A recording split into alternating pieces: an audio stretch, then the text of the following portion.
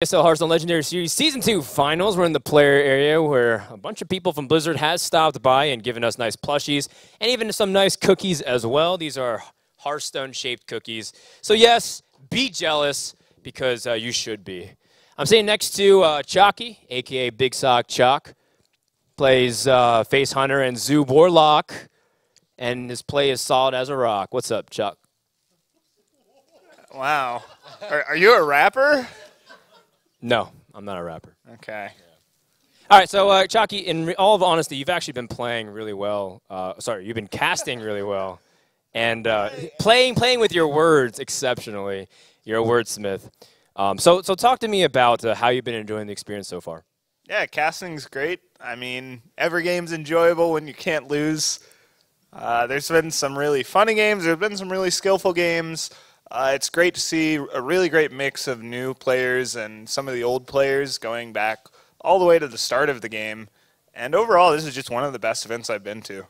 Yeah, for sure. I mean, it's very enjoyable atmosphere. The people have been great. The crowd's been awesome. The fireside's been absolutely fun, and uh, they're getting some free pizza later on too, as well as some card packs if they get to beat me, which a lot of people have been today. Frodan vs. the World has not been going too well on day number two. I'm, I'm definitely struggling my win rate. I might need some help later on if you're free.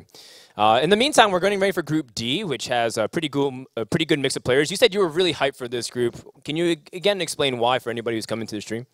Uh, just everybody in this group's just insanely good and been practicing a lot for this event. I know it means a lot to each of them. Life coach coming off a huge win at Via Game. He's already in the, the winners match. Phone Tap, who just recently joined Hearthlytics, really looking for a big breakout performance for not only for him but for his team.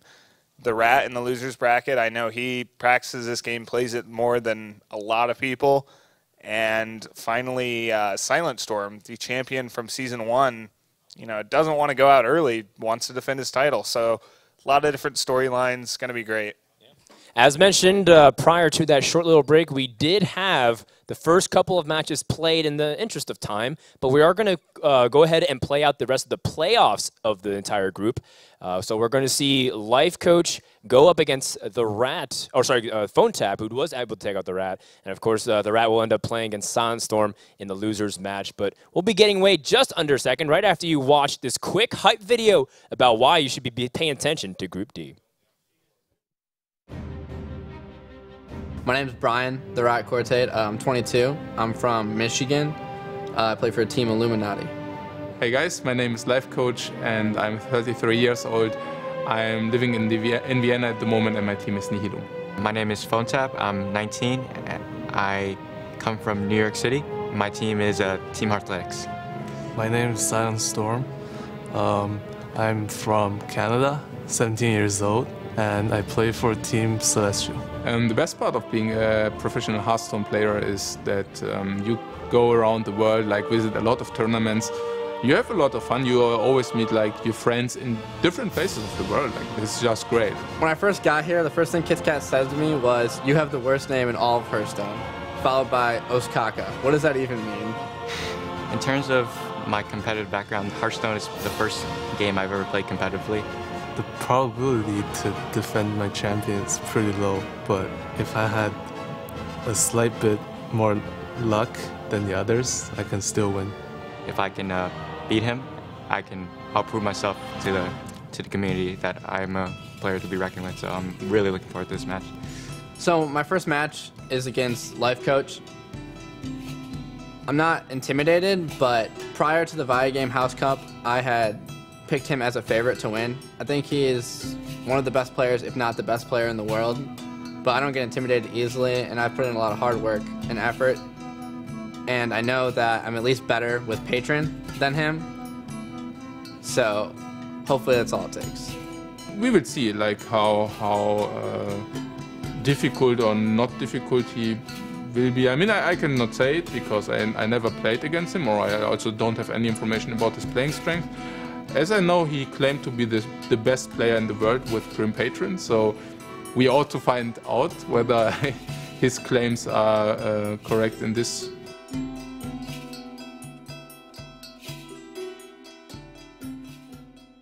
Hello, everybody, and welcome back to the Season 2 finals of the Hearthstone Legendary Series. Once again, I'm Osmo QD, and this time I'm joined by George Hyped Magazzini. There you go. Got the full three. Yep. And of course, Mr. Crip. Mr. Crip, Yep. the Crip, however you want to call him. George, how are you doing today? I'm doing great. I'm a little sad. Both the rogues got knocked out of the tournament. Uh oh. Kind of wanted to cast those. Yeah.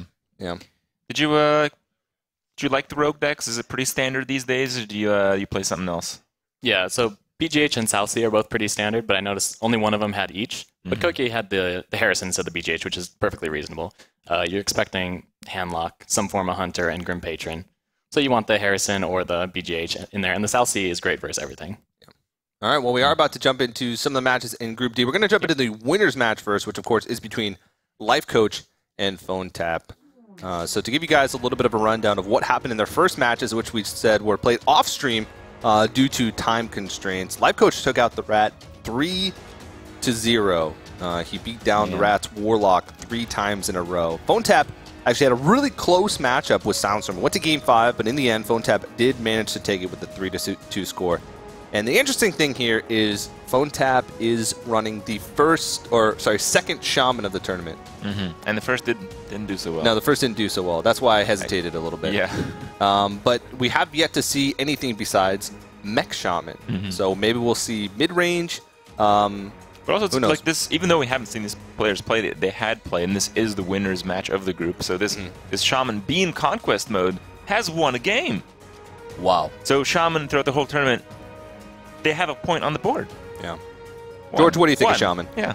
Uh, right now, it's pretty much only the Mech Shaman, which, you know, it's hard to appreciate like good Mech Shaman play because it feels like they just throw it all out there, you know? But maybe we'll see something cool. Um, looks like he doesn't have the Shaman here, though. Yeah, I actually gonna- had a lot of fun uh, watching the interviews uh, just to go through that. It, it is, again, it was interviewed before they played their first game.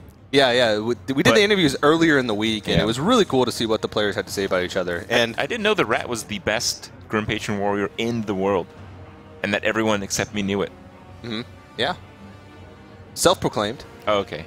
Uh, but I would definitely go towards that route. He was one of the players that was innovating with it the most. Um, he was one of the players that was sort of at the forefront of refinement for the Patron Warrior deck. So uh, when you when you get in that early, Yeah. you have a you have a good head start. Good head start. All right. Well, uh, he I hasn't Fo- mulligan yet, No, Phone right? Tap already mulliganed. He had like some stuff Oh, like quick did? shot. So yeah, that's that's what he's gonna go with. Wow. The double freezing. Double against, uh, freeze, the Sun beastless kill command, and low Loatheb. That's pretty bad. So it's sort of fitting to have George here because George was with me casting the very first or week of the Legendary Series, Okay. or the week the Life Coach won, right? Yeah, the week left. Yeah. So it's fitting to have him here because um, getting to see the the final story of Life Coach, perhaps as he moves forward in the Legendary Series. And back then, he was running a paladin with uh, piloted sky golems, and I believe Yeah. he's brought that back again. Yeah. And I was talking to some players, and then maybe like we are talking about how bad the piloted sky golem drops were, and Yeah. like we saw Life Coach actually take it out of some of his decks that he played, Mm-hmm. but it's back in, and someone uh, Ostkaka I believe was talking about how it got buffed by Hungry Dragon. That's true. Now you can get a second five six. It, it got buffed uh, again by Dragonkin Sorcerer. Uh, 3 Oh, 5, same, while yeah. not great, is above the average. Yeah. Yeah. Yeah, Life Coach is actually bringing, I believe, the same lineup that he won the regular season week with. It's Paladin, Warlock, and Druid. Interesting. I remember that week he brought uh, six big game hunters, I believe, because he, he knew he was Yeah, playing against yeah, yeah. And someone else that played Handlock. Yeah. I don't think he's going to do that this week, but we'll see. Yeah, well, uh, so far so good because he went 3-0 in his very first matchup. So has yet to lose a match in the Legendary Series finals here. Well, he, uh, man, Life Coach is, is pretty happy about his spot, but, uh, like, you have to wonder if a Hunter's playing really nothing, like, really nothing. He has to have answers for his, his Giants. Has a hunter ever Harrison a Jaraxxus in one? So we I might don't see know. We could see the long game here. Okay. Yeah. Phone tap, playing the long hunter game, you know? Mm-hmm. Eventually, 15 turns later, you're going to kill him. That's 30 damage. Read him and weep. Alright, so we got the double mountain. I And Twilight like, um, I like the Twilight Drake. I know you like the Twilight Drake Crypt. Yeah, whatever he plays, he's just gonna taunt. He's not gonna attack. He's just gonna taunt, right? Yeah. Well, he could. So many possibilities. Yeah, he probably Yeah. Twilight Drake allows him to tap Mountain the next turn. But he's really thinking, um, like, what could he possibly have in his hand? He just What what if you did uh, Ancient Watcher Sun Fury next turn, bounce back the card, tap Mountain Giant? I think he's like counting it that right now, the three man Molten Giant. He was at the Molten, I mean the Mountain. But is, isn't that like reasonable? I think so, but. Hmm. I mean, this still gives you the option to just double taunt and wait. Yeah. yeah. He's not really in any rush here. I was actually talking to Life Coach a little bit um, in the interview about his his roping style, and he says he always counts everything, every single thing, every single turn. He's doing some kind of math, the possibilities. When he was uh, casting the other day, on turns he would just say, "Oh yeah, that's a 94% chance," like instantly, as soon as the turn started. He's always counting in his head, I and that's see. why that's why he ropes because he, he's making sure that he uses that that time to the fullest. Yeah, the difference between uh, the really good and the best players is like 65 to 64% win chance. Yeah, know? yeah. And uh, I mean, you have to have uh, every little bit in your favor to make it quite at that level. So we haven't seen Phone Tap's full Hunter deck yet. This is the, actually the first time we're seeing him play today because his first match was off stream. Yeah. Both players. Yeah, All these both players. We can assume that life, what Life Coach has in his decks because we've seen him play before. Um, Nihilum tends to have a lot of the same decks. Mm-hmm. Um, so if you look across the, the past tournaments for these players, their decks are probably very similar. We just saw Life Coach, what, a week ago play at the Game House Cup, and he's running um, probably similar lineups. Even though they use a lot more decks, we still got to see a lot of these decks. Taunt time. Yep, going What are you looking for here for Phone Tap, George, to try and get yourself back into this one? Uh, I don't even know. Savannah doesn't even seem that great, but he'd take one. He doesn't have it. Um, does, let's see if Loatheb does anything. I don't think it does, though. Maybe he wants to like deny the freeze trap so he could quick shot the Sun Fury so he can have a little bit more time. And make it so that uh, he can't freezing trap a, another I like guy. that. I like the quick shot on the Sun Fury. Just to so you don't take that eight right now. It actually hurts Life Coach a lot because he has the Mountain Giant, and I think he might be relying on him bouncing back that extra card, which he won't do with the other Mountain Giant. Because I believe, as it stands, he can uh, bounce back a card and then tap for a four mana giant. A three mana giant. Okay, he doesn't need that. He doesn't need that. Never mind. I don't know if there's too much of a rush, just because he's got quite a bit of heal in the deck, but he definitely doesn't want to get to a point where the mid-range hunter has a board, he hasn't been able to proc like the freezing trap yet, and all of a sudden the hunter's able to piece together lots of damage. He's going to play the little limit pass. Yeah. Okay, well now if Life Coach just tries to trade with the mountain, I he could just quick shot the mountain and kill it. Hmm. And it blocks out all the other stuff. Hellfire. Not that that would be that useful. Although with double Hellfire, that's only three mountain hits at to 24, and then he kills him with the extra 6 mm-hmm. So he, he's probably gonna go for that eight damage to the face right here. Maybe get the second mountain down. Gonna do the math. Do you think it's a good idea to tap here? Like, I think he has everything he needs now that I keep looking at it. Yeah, I was talking to Life Coach before, and he's like, if you play double Healbot, but he only has one now, already, so there's only one left in the deck. So he's mm-hmm. already. I remember he was talking to me about this once before. He how much it costs to tap? It costs two, but you have two Healbots that like did the math, and he's saying how much it costs. It costs nothing if you have two left in the deck, but with only one left in the deck, it actually does cost you. And the thing here is, he like you said, he has everything, and if he taps, he's actually gonna. Like, how's he gonna spend all that mana without Emperor? You know, but he knew the You mean Emperor that was the next Emperor? card, so he, Oh, he's like, okay. all right, it's good. Well, that's the difference. He probably did the math, calculating what are the chances he draws Emperor in the next card. Realized it was t- worth taking the risk.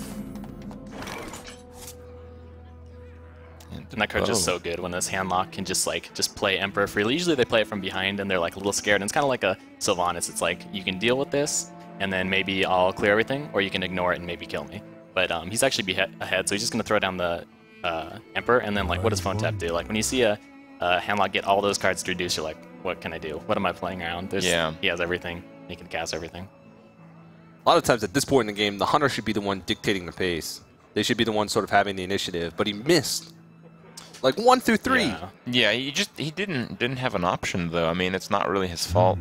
I mean, what do you do with It's two his fault. freezing traps? It's Phone Tap's fault. Bo Tamp's fault. Yeah. Yeah, I didn't catch what he actually mulliganed at the start. It's Maybe a quick shot, and I think uh, Hunter's Mark.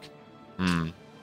What do you think about Hunter's Mark keeping? Because a lot of players, I think, uh, advocate for keeping Hunter's Mark in the matchup against Handlock. Is it something you only keep with Haunted Creeper, or Did he keep it, or did he not draw 100 to the other? actually, but I just saw the quick shot go. okay?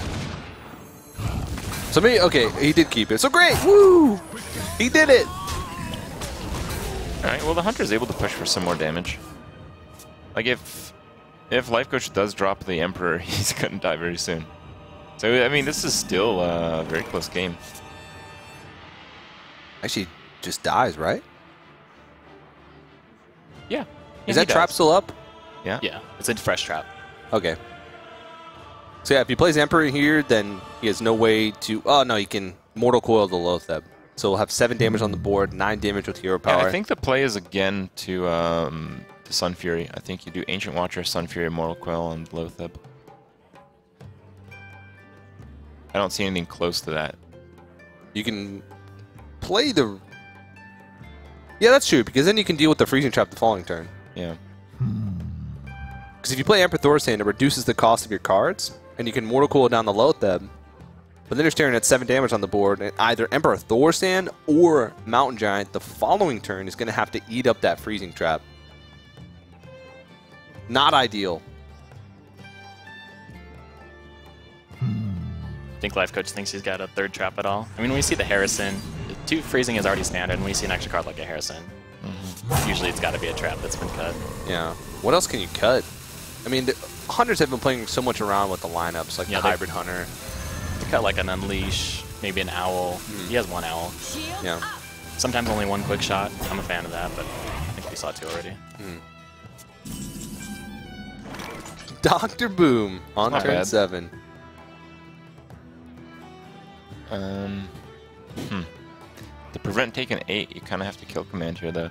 And if you do that, you get uh, the bow down, you get an extra charge. That's kind of okay. Do you really care about taking eight though? At some point, you have to realize I can't really play defensively. I'm the deck that's supposed to be the one being aggressive. All right. Well, what you can do is just silence the giant and kill the two three with the bow, and kill the four five with your five four. That's pretty reasonable. You can push for some damage too. I I think I like that better actually. You save the kill command. Yeah, it still forces the giant to be the the one that actually has to go Yeah. into the freezing trap if he deals it's, with it. It's actually too bad he doesn't have that eighth mana crystal because if he did, he could bow, kill command, and owl, and that five four could hit face. Yeah, if only he had that wild growth. I wonder. You went first. It was good enough. You know, Phone Tap is a player that um, we've had a lot of players that have won matches in the Legendary Series. Attribute some of their success to Phone Tap because he's just in so many practice groups and helps out so many people. Yeah, I like that trade. Makes the Shadow Flame harder. I like the Shadow trade, but I don't like the Doctor Boom that much. You don't like I mean, Dr. Boom on something turn to come 7? back. Mm. Yeah, I mean, uh, you still just didn't deal with the eight eight taunt. At some point, though, like I said, you have to realize that I wonder. You got to sort of use your health as a little bit of a resource and be the one who's forcing him to make the trades. That's still a scary board unless you have BGH, which he does. He But you kind of got to Hellfire force him to have it. Yeah. He has Hellfire BGH and possibly a free Molten, which is a disaster. Yeah, if the boombots go to the face. And looks like that's what is going to happen. Yeah, he needs three damage to go to be able to BGH hand Molten. Then he sets up for lethal next turn. He actually sets up for lethal next turn regardless. No, Life Coach goes for a slightly safer play. I've got the beast in my sight. These boombots need to do a lot of damage if he wants to get through this.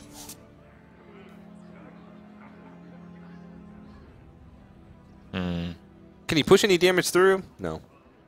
Yeah, Does have owl, he does have kill command, but it's just um, kind of sloppy. and really reliant on those boom bots. Do you win from here, George? I don't think so, but you can uh, you can kill command the mountain and throw the bombs and the scientist in, and maybe get the BGH, and then there's just the Belcher. Mm-hmm. You have to use the owl to do that. Hey. That's pretty bad. That's horrible. Maybe he doesn't trust the other one now.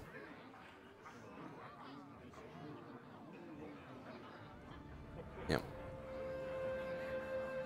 This mm. this matchup's traditionally pretty good for the Yeah, for the mid range all hunter. those drops. This boombot kills like the game hunter. Maybe there's something. Oh, it does. Okay, so there's the kill command. How Kill about that? Your clairvoyant crib. He doesn't even have anything to like combo with knife juggler just to Well, if try and get some the extra knife on damage. the- Uh, just a lot of it. mountain, A lot of it has to do this- with he just has another trap in the deck. If he has an explosive, does it even matter? Misdirect. Misdirect? Oh! No one ever expects the misdirect. Oh, he finds a way to navigate through the wall. No other trap. Well, this is the play that uh, allows him to stay alive until the next turn. So I guess it's uh, the absolute best one. I think just about every other one he loses instantly. So double freezing trap, nothing else. No explosive, no snake, no misdirect, Nope. no snipe. Snipe's fun. Snipe is like the eye opener. Yeah, Because people don't think about snipe when they play creatures. yeah. Snipe is like the not bad kind of thing. Yeah. You can't, can't never be too mad when you see the opponent run snipe. Hmm, snipe. You can. Interesting. You can. You can be mad. Oh. Yeah, snipe is interesting because it pretty much doesn't cost you anything to play around it. So if you just play mm. the things in the wrong order and you get sniped, you're like, I have no one to blame You're but like myself. Warsong Commander Grim Patron real fast, you know? Yeah. Well, okay, so Snipe came around a while ago when Miracle Rogue was a big thing, and a lot of people compare Patron War to Miracle Rogue, where they're drawn into their combos, and then there's not really much you can do to counter it. So mm. maybe it's time for Snipe to make a comeback. All of a sudden, Hunter plays a, a Snipe on turn 7. I don't know. Patron Warrior tries to play into it too quickly. The best part about Snipe is it works with spell damage, and that's something people really don't expect. Yeah. All right, well, it looks like he's going to concede out of this one. Life Coach is going to take game number one in the winner's match of Group D. Yeah, fairly decisive. It seemed like there was an opportunity there for uh, phone tap, but it just didn't happen. Too far behind from the start, and uh, Life Coach played really safe throughout, so Yeah, not not many directions from that stage. yeah. Yeah. It's the reason. Life oh, Coach has the Paladin left, which is normally a great matchup for Hunter. But maybe the Harrison Hunter can change that. Maybe. and Shaman. Yeah, Shaman too. Shaman. I don't know. I feel like looking at the lineups, I'm automatically inclined to give Life Coach the favor, even if I like block out all the decks but Shaman And that win. And that win. Yeah, that one's huge because he could have potentially with the Hunter and the Shaman just killed the handlock or just locked the handlock out. But the Yeah. handlock stole a win early, which is Mhm. huge. Yeah, that's a big deal. yeah. So Life Coach is going to throw out either the Druid or the Paladin. Uh, phone tap, Hunter, Shaman, or Druid. Druid has not done so well in this tournament. No, not really. Um, there was a couple games earlier on today where we saw Druids get some pretty ridiculous starts, but Mm-hmm. overall, I think the win rate for Druid in this tournament is pretty low, especially if you exclude. Well, I guess it doesn't really matter. I was Now, going say this, the this is a matchup that's kind of like a guesswork. Like, it's probably Mech Shaman against probably Slow Paladin. Mhm. Like, who knows how that ends? Yeah. So you said he's George. He's running Sky Golem. Sky Golems, but Yeah. wh- what else? Like, what do you run in the early game here? Do you think Zombie Chow is still an include in Paladin? Do you think like Cog Coghammer has a place? I'm not sure. I've seen a lot of Paladins uh, pretty easily afford the double zombie chow. Mhm. And then they make up for it later. Maybe a Kel'Thuzad, we'll see. I mean, if he's running the Sky Golems, I wouldn't be surprised. But maybe he has something new, like, okay, there's the Kel'Thuzad. Kel- Kel So this is un- undoubtedly Mech Shaman. Yeah, It's it's locked in now. yeah. Where's Demigod? We need a Kel'Thuzad impression in here. We could just play that over and over. I'm sure.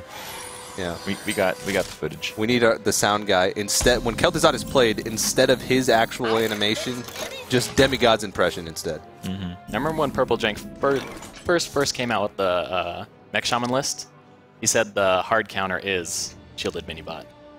Yeah, but it's not going to work here. The uh, Annoy-o-Tron does uh, does a good job. Yeah. It like two for one's everything. You know, Not quite. Well, mech warper, but a lot of times it could trade into like a Annoy-o-Tron. It can. No, I, I think a Annoy-o-Tron is the only counter for your Shield of bot, which means you play it, but then he has a Annoy-o-Tron, which sucks. well, it's not really like a counter. I guess it is if you play it's, Cogmaster It's first. the best reaction, I yeah, guess. yeah, yeah. Because Shielded Minibot, if you attack first, it still trades two for one with a Yeah. Annoy-o-Tron plus something else. Life Coach just really doesn't like it. Well, Yeah. if you play, if you come out Shielded Minibot here, you don't have a play for the next turn except for Hero Power. But Hero Power is not that bad. It's true. you're kind of paying a turn on your muster though potentially. Yeah. But it's going to work out because Phone Tap's hand is actually pretty bad. I mean, I know he has the Annoy-o-Tron, but I mean, besides that, it's pretty weak. He picks up the turn 3 drop. Yeah, that makes Pretty it a good whole lot better. But you can see the Rag is already weighing down his hand. Mm-hmm. Is Rag common in Mech Shaman? I haven't seen it in too many. Um, I don't think it was in the very first original list, but once it kind of made a comeback at Seat Story, when people are starting to target Druid in Conquest, uh, Zixo brought a version with Rag. And I lose to that Rag a lot. Like, I think I've stabilized on these two on the Rag and hitting the face rate. Yeah. So, Yeah, that's a, a good point. A lot of times you like your opponent's about to stabilize and you're running out of cards, but then you plop down a rag and it just sort of gives you a sort of another life. yeah, plus the Fel Reaver and the um, the Dr. Boom already there for BGH, so mm-hmm. like by that time you don't, you're not worried The about Earth Shock is really good here. It allows you to clear and keep everything. What to do? It does. Wow. And there is an argument for Spider Tank though, even though that Shielded Minibot's going to have to be dealt with eventually. Mm-hmm. Is Earthshock something that's going to be needed Mm-hmm. Actually, later on? yeah, I think. I think the three-two into the one-one, just to protect your Divine Shield, hmm. Is good enough for the Spider Tank play because the Spider Tank will just eventually kill the two-two for free. Yeah. Well, it is turn three, and you're usually thinking about Muster. He has both Muster and uh, the Aldor. And it doesn't really protect it from Muster, right? 'Cause He can still hit the shield off. Right. Whoa. I guess he wants the damage. He might have made that attack a little quickly. Seems like it. Just from his reaction to it. Oh man, that's bad. Uh, Life Coach has everything. Yeah, he, he actually has everything. It's like, yeah, when you're playing against a, sh- a Paladin, you're like, alright, does he have the, the True Silver or the Piloted Shredder? Which play do I make? He has both. And then same on turn three, Aldor and the Muster. And on turn two. Does he have the Shielded of Mini bot? For justice. Whoop! They missed the zombie chips. Oh, true. It's really the consecrate that's kind of like the nail in the coffin here because um, phone tap going for damage, going for this line of play. His idea is just to swarm the board and hope he doesn't have consecrate. Mm-hmm. Because nothing's worked out so far. A lot of times, if you're able to stabilize once without taking too much damage, then you probably should be in a pretty good position to just win the game. Yeah, heal totem. Okay. But if you're trading this damage, you're not putting towards the face. Yeah, but the heal totem is like, you want to get some free dudes? Get some free dudes. You're all about free dudes. That's value. I wonder. Okay. I don't know if this match was about value, though, from the Shaman perspective. Although he does have the Dr. Boom and the Rag. Yeah. It's a lot of value. That is. Yeah, eventually you you have to realize when do you just sort of say, you know what, screw it, I got a race. Like, what? what is Ragnaros going to do if you're losing? Hmm. On the Snipe off a dude, a free dude. You said it. You're all about free dudes. He's uh, basically nothing. Yeah. Contradicting yourself here, Crip. Hmm.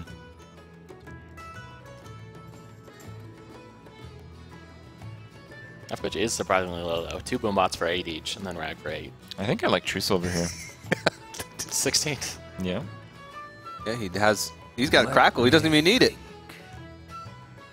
So do you play True Silver Champion here, or do you develop Yeah. a Piloted Shredder? I think True Silver just clears out the board, and you have quite a sizable one still. Because you don't lose. You don't lose anything. Uh, True Silver kills the three four, deactivates the Cogsmith, Cogmaster. I don't know one of those, and then the two two kills it for free. And then you just kill a free totem. A lot of freebies. Love it. It's free. Life Coach, of course. Like al- almost all the cards in his hand work, but I just think that's the best one. Mhm. What do you think? Yeah, definitely get the True Silver on. Deny the mech synergy, even though there's none left, I believe, right? Yeah, there's no, there's no mech synergy left. Okay, he saw the rope. That's his cue to start playing. Actually, it has been. He makes sure he takes his time. He's, he thinks through every single possible outcome. And sometimes that takes some time. He says, well, if I play True Silver Champion, what are all the things he can do on turn 5 to punish me for it? If I play Pod Shredder, what are all the things he can do in turn 5 to punish me for it? No, Fel Reaver. You don't need any cards in your deck with that hand. Yeah, Just but need some dips. Peacekeeper just absolutely... Oh, yeah, Earthshock. Oh, that's true. Wow. Hmm. This is a Knife Juggler Peacekeeper play. We're not even going to see the rope. Okay, I might see the rope. No, this this play seems really straightforward, and uh, it does quite a bit. Now, I mean, we're at a point where he can Earthshock his Fel Reaver. Hit Yeah. I think Life Coach is going to kill it. Yeah. There's no there's no reason to get greedy for trying to mill cards. He actually looks at the card count, 16. I always do that too. Actually, if he doesn't kill it and a spell damage totem and a sick crackle comes out, Yeah. Life Coach is dead. Yeah. So, yeah, this this might seem weird to the guys that have seen the Fel Reaver highlight videos where someone loses their deck and it's the guy with the Fel Reaver. Mhm. But uh, this is by far the safest play, and uh, making it is uh, very important. That's still a pretty ridiculous amount of damage in the hand, but I don't know, it just still seems like life coaches. Now, the Power Mace is a really good card because um, it does follow the Dr. Boom on curve. Guide me. Bumps a boombot. Yeah. Seriously, that's good. There it is. You were right, hyped. Yeah, there's a Sky Golem. I don't think And it's gonna what pop what this game, lies though. in that? s- What I is don't- we're not gonna piloting that figure Sky out. Golem? Is it a piloted trader that's piloted by a Millhouse? Summoning portal, probably. Summoning portal. Would that be that bad? Spawn his entire hand. To battle. I don't even know how much is it. Two off. Two off. Oh, not quite then. Yeah, did I turn after this? Last. Well, he's starting to pile in a lot of damage. He's actually setting himself up for lethal next turn with just like a, a stray juggle or a consecration. So uh, if he plays Dr. Boom here, there's a. I think he's dead. I don't think there's any way that he could actually clear something because he'd take the damage anyway. Yeah, but the stray juggle could hit a bomb. Oh, that's true. Well, no, No, he because he, dies only needs consecrate. Yeah. Oh, okay. Yeah. Yeah. So in that case, even I though think um, I think it was a bit of a misplay to not kill the juggler last turn. I mean, it's certainly aggressive. It's certainly in line with his with his way of play, but you do yeah, have, when have to, Dr. you do have to Boomerang, stay I alive. feel like you can play a little bit control with that hand. yeah, and that juggler just puts in so much damage. I think the play here is the Earth Shock and Fire Elemental, the 6-4. And maybe even kill the juggler, which probably should have died last turn. that removes a lot of damage from the board. You're going to be left at 13 health. There's only going to be 6 power on the board. You have Dr. Boom and Rag to follow that up with. I really do like that play.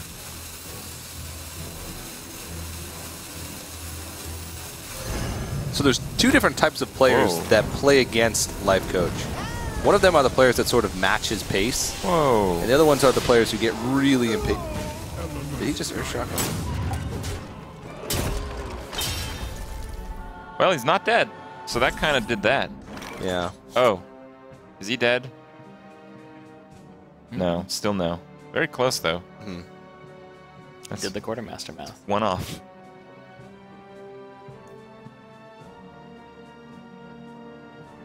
Now, what can come out of that Sky Golem that would kill him? Is there anything? Uh, there's a Korkron, maybe?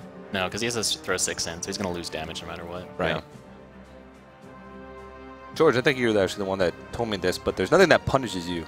Yeah, if you're the player with the Sky Golem, it's, it's pretty rare that, that you want to trade, um, that you're in this situation, but if you have the Sky Golem on your turn, you can go ahead and trade it in first if you know you're going to, because everything benefits you. There's nothing that punishes you outside of, like, That's Octane, pretty maybe. bad. That's, that's pretty It's bad, but it doesn't punish you. Yeah, but you can do it first. It's not going to hurt your play, Yeah. Okay. unless you're going to heal yourself. Yeah. Reporting for duty. Like Piloted Shredder could get a Mana Wraith or a Nerubian Weblord, which would make it so that you wouldn't be able to play something. So it's better to play it second, whereas Yeah. Sky Golem is, is not the same. He can't even YOLO rag. Nope. I believe there's nothing. Yeah, I think that's it. Well, what what if you get a taunt totem and you crackle a 3-3? Then you're still dead. I think you don't. The miracle crackle. No, yeah? Yeah, was. it was. He It rolled was maximum damage.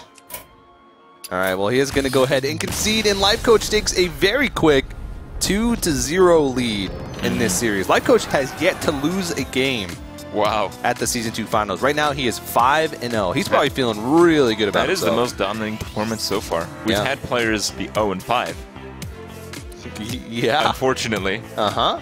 but no 5 and 0s until now. Yeah. So good for him. Um, I, I kind of like to see these type of decks. He's like very controlling decks with many decisions, all played out, you know, extremely well. Yeah. I mean, we, we haven't even really talked about how well Life Coach has played, uh, just because it kind of kind of goes with it. I mean, you kind of get it. Yeah. Yeah, we talk about the plays, and he just makes that best play Mm-hmm. every time. Um, so it's it's leading to wins. Uh, I think some options from phone tap, but overall, most of them seemed irrelevant throughout the scope of the game. I don't think he could have done much to actually win that one. Yeah, they're very optimistic. That weird Earthshock play, you can tell that it was like really hard, but he's like, well, there's there's like Yeah. one way I can win, so I'm just gonna pre- hope that I draw that card. Yeah, that the, the main way that a phone tap would have won that game is if Life Coach was merciful enough and left the 1-7 Fel Reaver stay alive. Yeah. He set himself up for like a, a burn spell to win. Um, like if he had just drawn a lava burst or a second crackle, then he had a chance to win, especially since we saw at the end he actually rolled a six with the crackle. Yeah. And I Yeah. think he was trying to get his bad RNG out of the way. He was hoping that crackle was going to roll a three, so then he was he knew his next crackles would be would be fives and sixes. But Well, because these matches were off stream, the ones that we played earlier, yeah, um, they may have even been played at the same time. they were played at different times. They were played different times. Yeah. So do the players know? Like they get a chance to watch? Like that's that's what's curious. I think they did because I saw Life Coach sitting back there doing something Oh, I with see. some Okay. pen and paper. So Yeah. All right. Well, Shaman stays against the Druid. yeah, shot this. I mean, the deck was brought back basically to beat Druid. It's really good. Mhm. It's really- This is a pretty good curve for phone tap. Yeah, that that doesn't get too much better. If you just double up on the Mech Warper, that's about as good as it gets. Mhm. And that can that can happen. I mean, if the first card off the top is a Mech Warper, this game is over. Because it's going to be turn two Mech Warper, Coin, Neutron, Whirling Zapomatic into Power Mace. Yeah. Yeah, I'm trying to think. It's actually really hard to win with the Druid. Like, kind of, I'm tr- like the best hand is like Innervate Belt or something like that, and even that struggles. Mm -hmm. He- He can get that charge out, but Wild Growth, Wild Growth, Innervate Ragnaros. Snipe the Wind Fury. that's that good.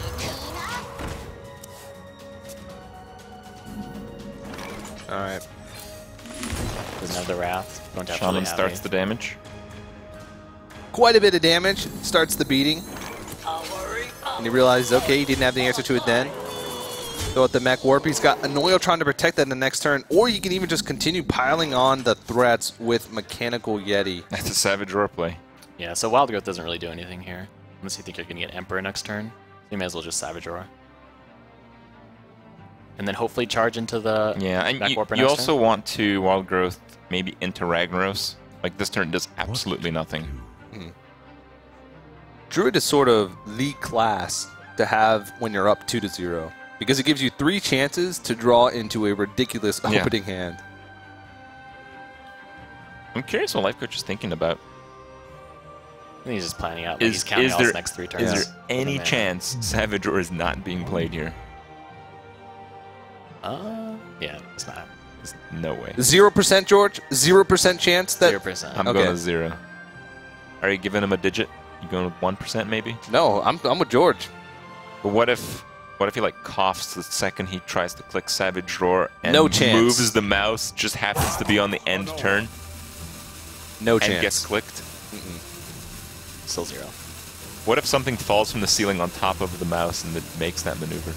Um, let me look in the rule book real quick. Nothing. Okay. Section 8B. If something falls from the roof onto someone's hand during a match and forces his mouse to go somewhere else, the tournament just ends. Okay. It's not a real rule, disclaimer. I like the two creatures over the one Yeti here. Yeah, you get the more you get more discount, but he is thinking about something like Belcher. What's the best way to punch through a Belcher? Yeah. And uh, with Well, the I Power think- Mace, I don't think he's punished either way. No, I think he's mostly thinking about uh, Yeti because next turn he'd be able to Power Mace and um, play the Annoy-o-Tron. But he curves out like over the, Okay. over the next two turns, the best mana efficiency is to Yeti. But over the next turn, the most tempo you get from Annoy-o-Tron and Spider Tank. But what do you choose? Do you go for the full mana efficient play? I think I am thinking about a Belcher where the Yeti's a little bit awkward. I think when your opponent has an empty board, playing the biggest threat possible to open up more opportunities for you to weave in lower cost creatures and spells Yeah, but against against Druid of the Claw, it's devastating because the Yeti doesn't even die and you taunt in front of it. That's so insane. And you can on-curve Doomhammer after that. So if they disconnect here, does does Phone Tap get the win? Is, is it 100%? It seems 100%. Yeah. All right, George. You're a percentages guy. What's the if Phone Tap wins? If he dis- disconnects, he still wins 100%. Is that what No, you're no, no. Of course, the he needs onboard lethals by the rules. But really, does does Life Coach have a, a single chance this game? No. Uh, No. What's the best card? What do? No. Yeah, Life Coach, one of the few Druid players to still be running the uh, Ragnaros. Um, I think the Nylon boys like to put that card into Druid. They've been running it for a while. What do you think of Rag and Druid there, George? I'm not that crazy about it, but it has been making a comeback. Uh, people kind of like it when rogues are around just because it's not a great sap target, but Yeah. I still think it's like a pretty weak card in Druid. I think there's better options, but I'm not 100% sure what matchups he's thinking about with Rag. I actually have the notes.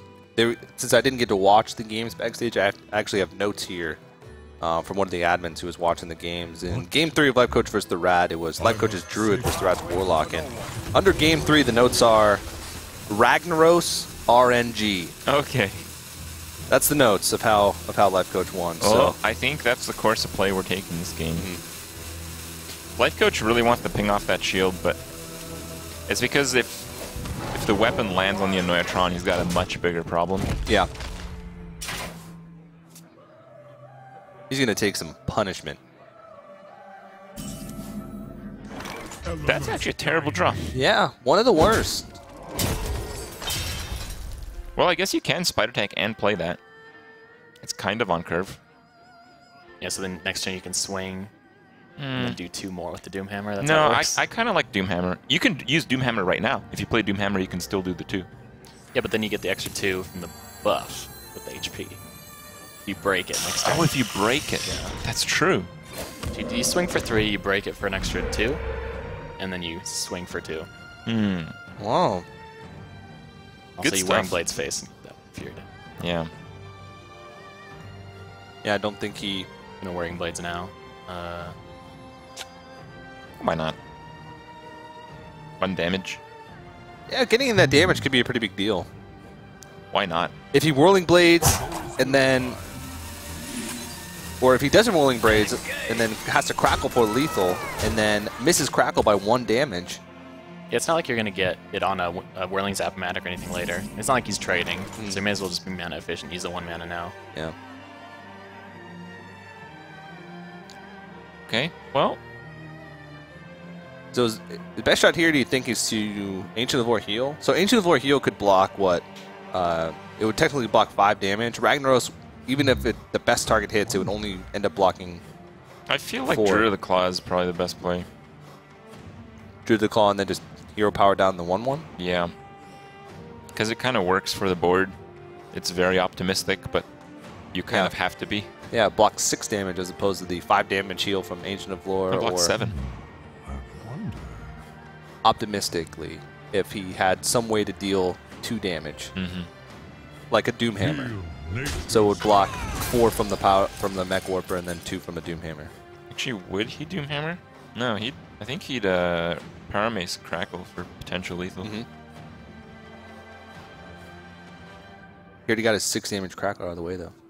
He doesn't need six. Time waits for no one. Where shall I strike? Chucky and I were actually talking to Life Coach before we cast with him yesterday. We were trying to convince him that National Donut Day in America is actually a real thing. Well, you make it a real thing if you just eat more donuts. Yeah. He didn't believe us. He thought we were trolling him. All right, I think here you just crackle. Go for lethal, whatever.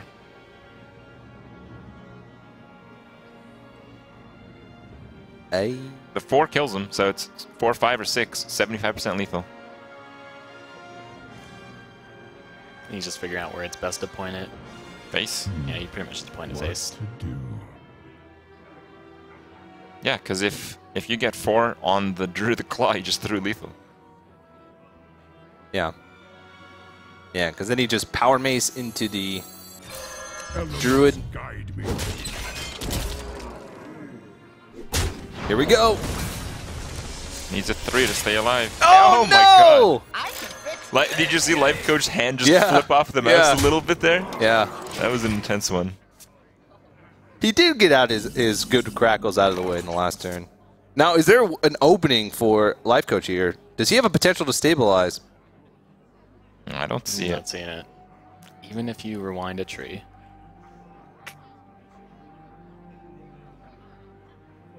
So he can. Oh, man. Is there maybe some draws he can play with Innervate? Like, what if he Ancient of Lores and gets an Innervate Belcher? I think that's it. Yep, that is the play. And then he's still dead to Doomhammer. Gets Yeah. the second Innervate and a Belcher. yeah. Whoa, okay. That's his only out. Yes. I'd say so. And he's still dead to Doomhammer. Yeah. You just overwrite the Doomhammer, it buffs the one mech, Yeah. and then you get the second Doomhammer hit to face. The heal from Ancient of War does nothing. No. Force of Nature doesn't take away enough. Can't kill him with Rag. Can't set up any sort of lethals. Can't even draw Cycle with No. Wild Growth. The only chance you have from the board is Ancient of Lore into Innervate Belcher.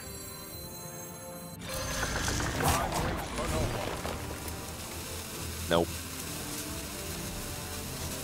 Nope. Not even close. All right, goes to the concede button, and Phone Tap manages to find a win. With Shaman. With the Shaman. Two. Two so far the tournament. We've seen two Shaman decks, and they've each taken one win now. I wonder if Shaman is still the worst deck of the tournament now with two wins. Uh, Druid is. You think Druid is? Druid's had an abysmal win rate. Priest?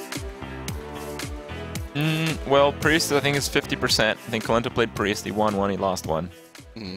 Actually, in the series that he lost, I think he lost all three with Priest. Oh, did he? Yeah. I missed some of that. So that's a pretty bad, Uh, that's true. pretty bad win rate as well. Priest is pretty close to Shaman. Yeah.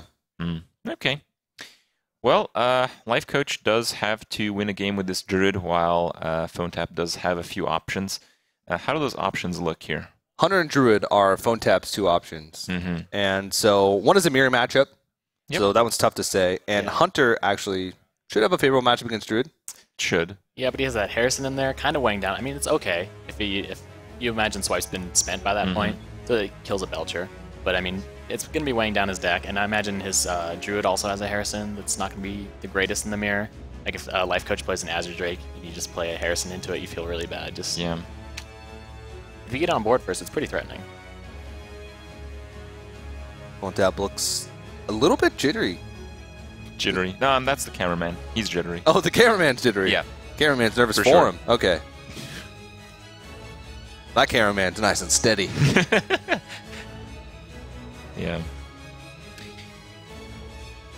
All right. Well, All right. Players are about to get into it here. Yeah. So again, Life Coaches has to win one game with Druid over the next two games in order to qualify for the playoff stage. Uh, that last match was actually the first match that he's lost so far at the season 2 Legendary It's Series really hard final. This is so important. I mean, just getting the, the top seed as well just puts you in such a such a nice spot. You only have to play Yeah. two games if you win them both. Only two. Don't have to worry about the RNG in the third and top seed. You to go. also get matched up against a player from another group that got second place. Exactly. So maybe a better matchup. It's hard to say, but it would mean he's just uh, three wins away from actually winning the whole tournament. So we'd only have to get five wins total. Phone Tap force to mulligan all four and gets pretty much four mediocre cards, assuming he can't pair something with the Animal Master. That's what he really wants. Blood Yeah. spinner, creeper. It's still a lot better than that double freeze trap garbage you got earlier. Yeah. Yeah. Okay, there's animal commanding. That's one of the best cards you want against Druid. All right, where's my statistics page? Okay, I'm ready. If it's 70% Huffer, then this means it's going to be Huffer, right? That was 75% Misha. No, yeah, right now we have uh, a total of eight Mishas, two hu- two Huffers, two Leops so far today. So it's 70% Huffer. That's what you were saying earlier. You did the math, didn't you? no. Oh. Huffer, see? Huffer. Whoa! 100%, Three Huffers! Getting Is closer to 70%. One right here? Yeah, it's the worst. It's pretty bad. It's the only one that dies to Wrath. Mm-hmm. Yeah, but Or it does Savage damage. Like, Leokk kind of dies and doesn't even do that 4 damage. I don't know if you're worried about doing damage with mid-range on it. Mm-hmm. But, like, Leokk would have just been worse. Wouldn't it? We would have got the Houndmaster on it and killed the Shredder, or at least, you know, had it. Oh, God. Okay, well, he got it anyways. All right, we're getting closer to 33%. That's that's some horrible animal companions. It's, I mean, he has the Houndmaster, it's fine. Also, he has the option to quick shot, and then he gets a trade in. Imagine if you got Mishas there. He has, a, he has three different four mana options, pretty good. Actually, I think with the Houndmaster is the best. Yeah, Houndmaster because it's like the hardest to use. But I mean, sometimes you want to get the Mad Scientist going as fast as possible. Yeah. But it should be easier to fit the Mad Scientist in later. So, uh, Savage Roar maybe? Savage Roar Hero Power is actually pretty good. Yeah, it's actually really good. You can clear and you end up with whatever comes from the Shredder, which might be really good. The only problem is you take another three damage. Yeah. Put you down to 20, which that's not that big of a deal. Yeah. I think you're fine with it. You're looking at Yeah. your hand with the. You also don't break the combo. You have Savage Roar Force of Nature anyway. Yeah. I think it's pretty good. I mean, you're taking three damage, but that's that's the best case. If you don't do that, you take slightly more than three. Yep. What other options are there? Azure Drake? Then what? Hope you get a get a Bluegill Bluegill. Warrior? No, there's there's Moonfire in there. Okay. See, Azure Drake into Moonfire kills the Leo. Oh, yeah. Waits for no one. There we go.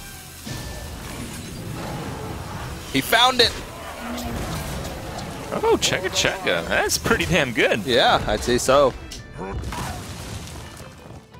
You can keep him perpetually frozen. And uh, it, it also has the potential to stall a little bit for uh, a big creature. Like perhaps you can trade it into a Savannah Highmane to set it up next turn to be killed while you build a board. I think I just like the Shredder here. I think I'd go with the Mad Scientist quick shot because then your Savannah turn, you can Hunter's Mark trade in the Scientist with whatever he plays. Oh, I see. Whenever I have a Savannah, I want to like set up the best turn six, Mm-hmm. and usually it involves like having a bow. No, you're right. and a I, I, I Mark like that hand. considerably more. Yeah. Maybe he's thinking he needs the quick shot draw, but probably not. No. No. Because he knows his turn six is just playing the Highmane. It's going to be a while before he gets to the point where he plays Quick Shot as draw. Thing is, Pilot Shredder is still not that bad.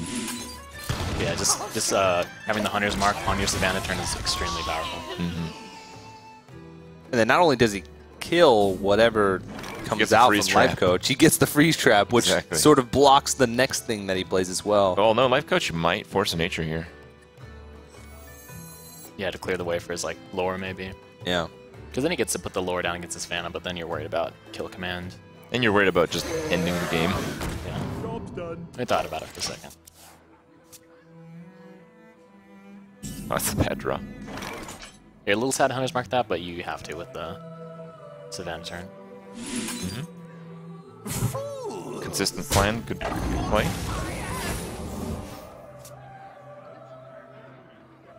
We saw what phone, yeah, we saw double freezing trap from Phone Tap earlier in the first match of this. In And the that first was game all he series. had, yeah. Yeah, So right now the worst draw is the other Mad Scientist. yeah. Very true. Uh, Life Coach is not happy about that. Mm-mm. Well, I mean, he can play. He could do Ancient of Lore, and then next turn he can uh, Force of Nature. And maybe he gets like an Innervate to do like a huge Savage Roar play in there. but he needs two turns just to deal with the Highmane. That doesn't account for whatever's going to come out from Phone Tap the next, the following turn. Right. So like he plays Ancient of Lore, and then next turn he can Well- Force of Nature, freeze one of the Here's, treants, here's and then another kill option. them. What what if you Ancient of Lore and heal? you're not going to play out this hand anyway. Yeah, you have, you have like everything you need. You just need a little bit more time. So I think heal would be the way to go. But there's also Waits for no one. with two mana. There was, I was gonna say you can uh, Azure Drake and just let it sit on the board and get the spell power swipe next turn, but you can't. The tree on tap to be played next turn. So he goes for like something like an innervate instead of the heal. I, I kind of would have liked the heal, but maybe he feels like with his cards he can't win. Whoa. Oh, It's uh, pretty good. that is brutal. That fits the curve. Like, what? No, it just kind of works. Just kill him. Yeah. yeah. Knows that it's going to get frozen anyway. There's no reason to throw that 5 damage there. Yeah, you have double death rattles. You're like, there's no way he's gonna clear my board. Yeah. Oh, he is. I figured he would just use the kill He's going to command. clear the beasts, at least. Yeah, but he, he gets uh, he gets some. He has the owl if he needs. Yeah.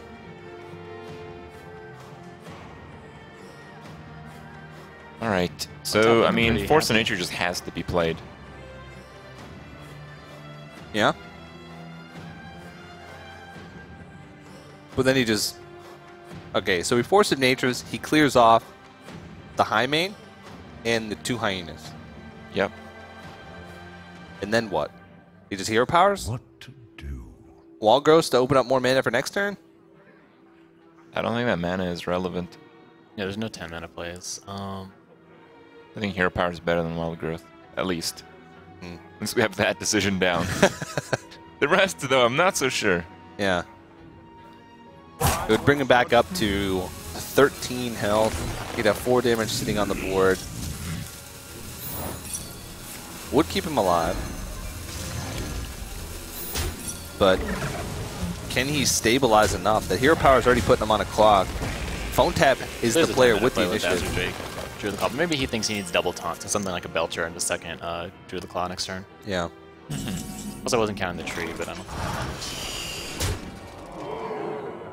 It's not quite lethal, but I like a Doctor Boom still. Mm-hmm. Likes to hop over the relevant creatures. Yeah.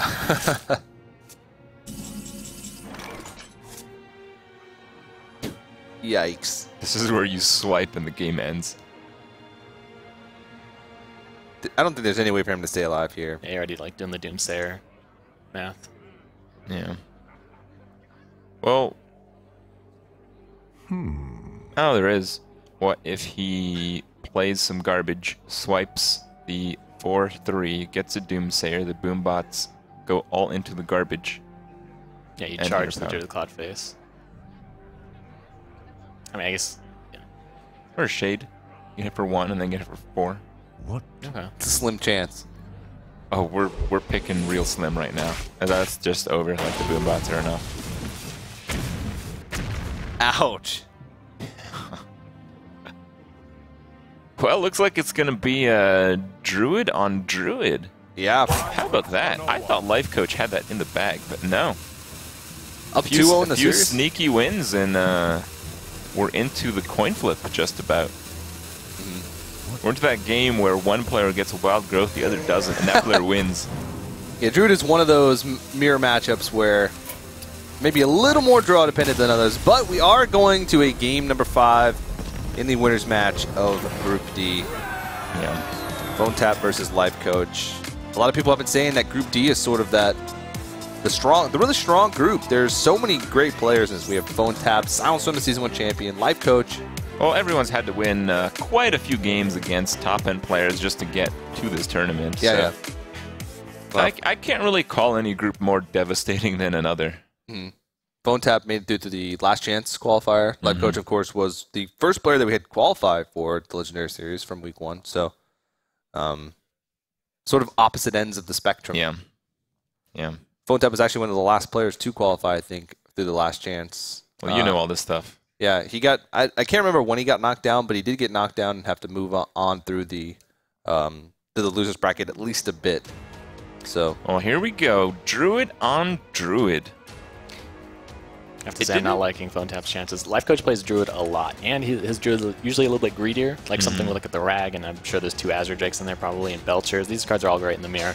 Whereas, like I said, Phone Tap has uh, Harrison, and I think Ooze, maybe two Oozes. We also haven't seen Rag yet, and if it wasn't revealed in his uh, earlier games, What do you mean? I mean, he hasn't seen Rag yet.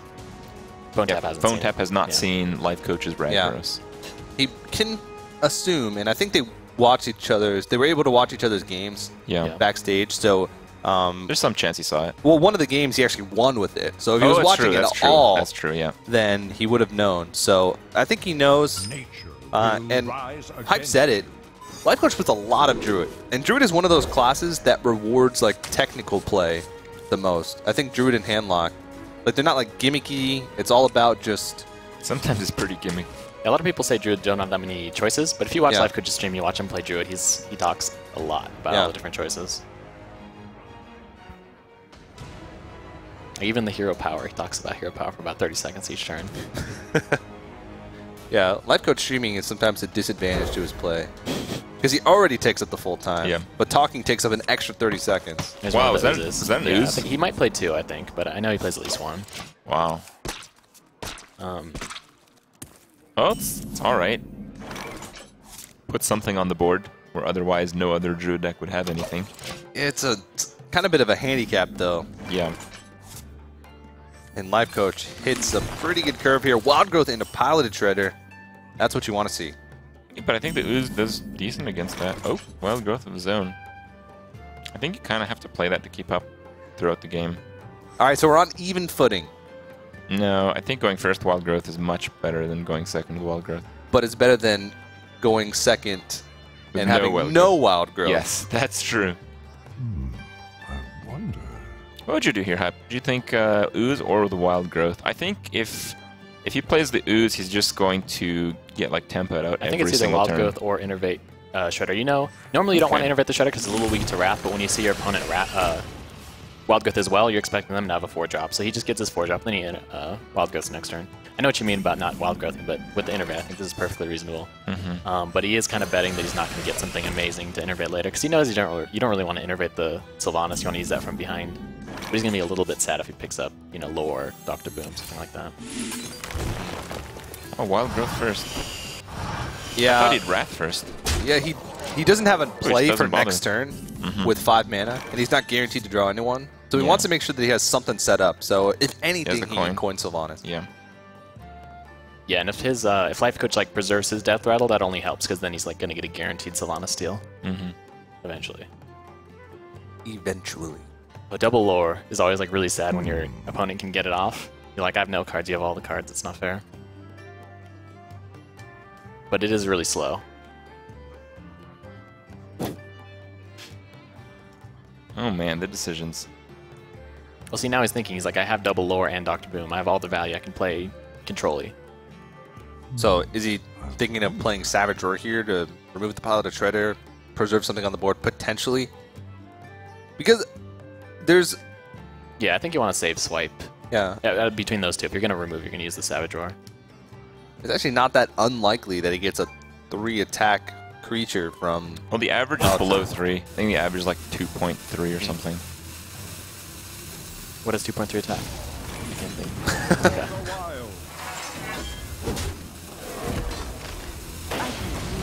Great. No. You didn't kill it. Well, that six damage. Apparently you kill it.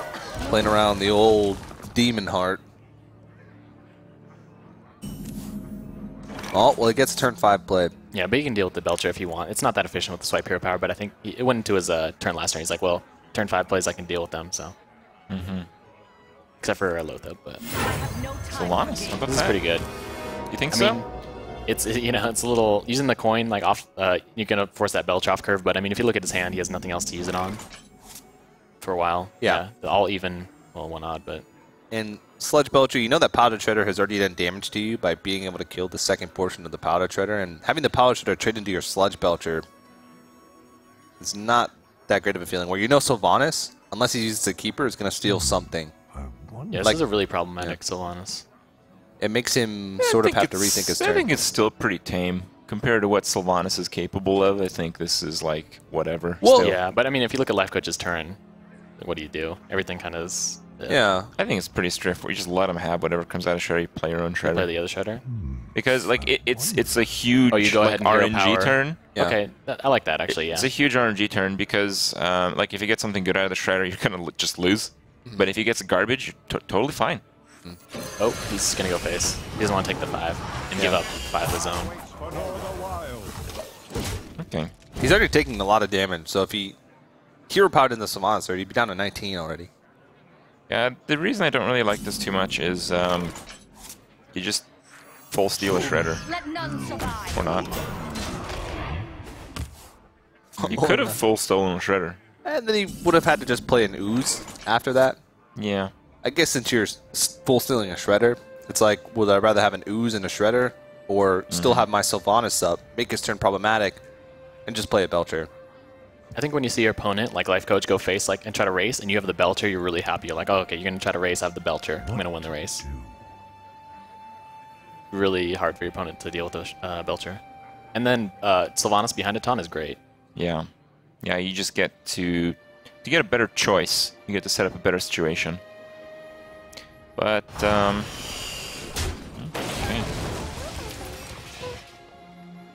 Not quite as a Drake swipe. That would have been kind of bad though, to give your opponent another mana crystal in this matchup. If you did go for the Sylvanas slaying. Yeah, That would have been pretty bad. he would have done. Yeah, belcher and ooze. It's interesting here. Get a mana discount. But it Yeah, doesn't matter. to ignore the Sylvanas. Maybe he'll get a keeper eventually. Ooh. That's a good counter for Sylvanas. He gets a direwolf here, though. Sylvanas good. Oh no, it's not that. Overestimating those slimes. Well, now he can do that play that Crip was suggesting last turn. He can steal something if he wraths his own Sylvanas for one.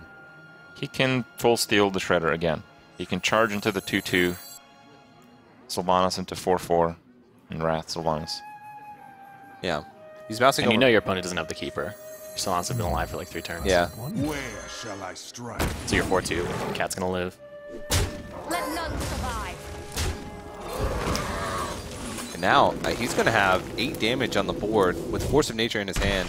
Uh, could you have done a different play if you drew first? Nah, it doesn't matter. Pretty much. I like it. I like it, except for the Yeah. should be on the right, but that's okay. He can put a creature there, don't worry. All right. Why not the trees go there for the? so Yeah, there you go. Exactly. He trades in. Okay. It's okay, George. It's BM positioning. All right. Well, this sets up for Yep, lethal it's next turn. It's If- lethal. Yeah. If he doesn't hero power. No, if he, heal. if he hero powers, he's still dead because the druid can hero power and force of oh, nature. oh, yeah, that's right. He's got 8 He- total mana. Yeah, he has to use something to start clearing, and I mean it's pretty easy force of nature. Now, you absolutely kill the shredder last, because you could get like uh, Need some explosive sheep Or Something an like oil that. charm. That is Yeah, something like that. yeah. Phone Tap sort of psyching himself up. He's like, okay, that's okay. That's Yeah, okay. like I'm three still in it. Yeah. Okay. Oh. Yeah, whatever. Sure. Let's do nothing or six damage. Probably not going to get much more time to play both those Force Natures as the game goes on. Um, doesn't set up for lethal. Phone Tap looks very distressed right now. I mean, that was a terrible draw. Yeah, yeah. Just basically did nothing except six damage. He needed that card. Savage Roar. It's really hard to pass up the heal when you see that. But maybe you think you can get away with the Doctor Boom. Well, you do have to win this game. If you heal, you don't really win. If you heal, you get to play your other seven drops, though. Yeah. To do. And you see your opponent didn't play a lore. He had a perfect turn to play a lore, a Doctor Boom, anything like that, and he didn't. So you're like, okay, I have time to heal.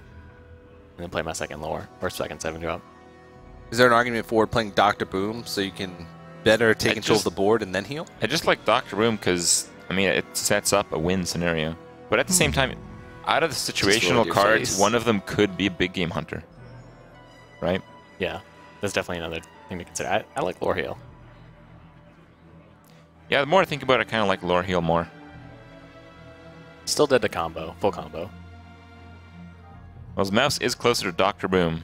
Hmm. I'm okay with anything. That was arguable. Yeah. That was arguable.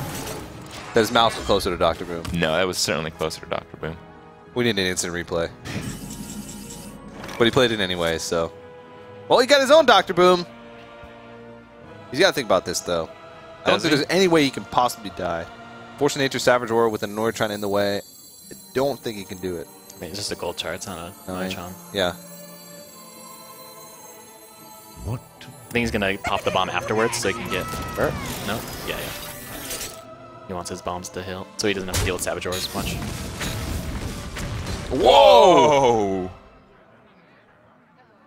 Well, that that might be it for Life Coach. Yeah. No matter, even if he is able to deal with the board, Yeah, just the just Force of Nature. top top deck Doctor Boom with that Yeah. outcome is just crazy. Yeah. I heard it's a good card. I mean, he can Did still you? get BGH and then heal. Did up, one of the. Blizzard devs tell you that? Yeah. Okay. Have you heard of that Dr. Boom card? Time waits for no one. George, is there any way that life coach can salvage the situation? I'm thinking. Uh, well, that needed to hit the Annoy-o-Tron, I think. Whoa! Yeah, if he gets a BGH and then he heals with up, yeah, so right there, and then he heals for five. Wow. He's back in it. He didn't need the BGH, but this helps a lot.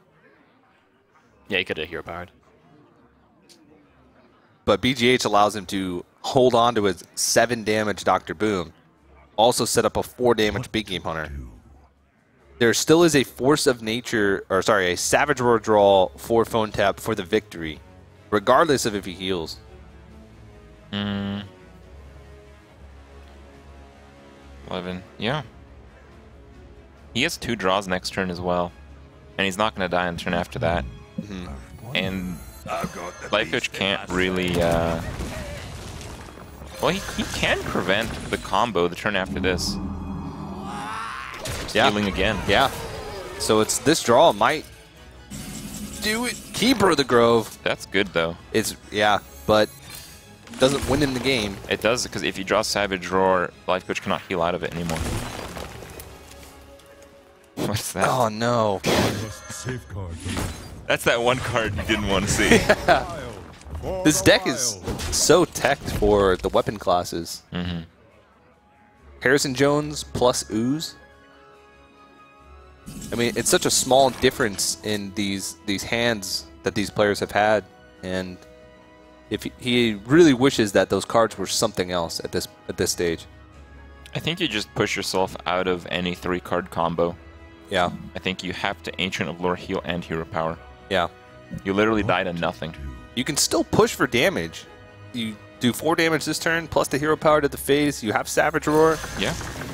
So once you sort of gain an overwhelming control over the board as a druid, it's so hard for the opposing druid to find his way back in it, unless he's using combo to clear, which means he won't have that for uh, to find a victory.